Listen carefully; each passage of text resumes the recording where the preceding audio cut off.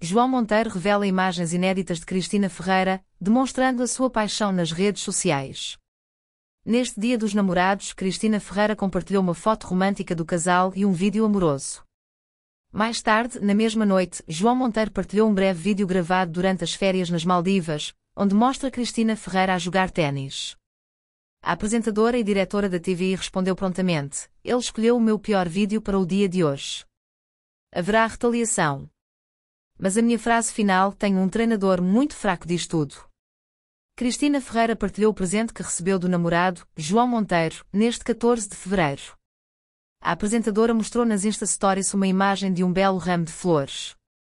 Pouco depois, João Monteiro publicou na sua página o logótipo de uma conhecida loja de flores online. Apesar de estar inicialmente nos Estados Unidos, o tenista antecipou o regresso a Lisboa e conseguiu passar o Dia dos Namorados ao lado de Cristina Ferreira. A diretora de entretenimento e ficção da TV não esconde o seu apreço por datas comemorativas.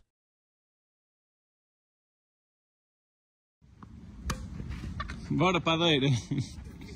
Vamos! Ora.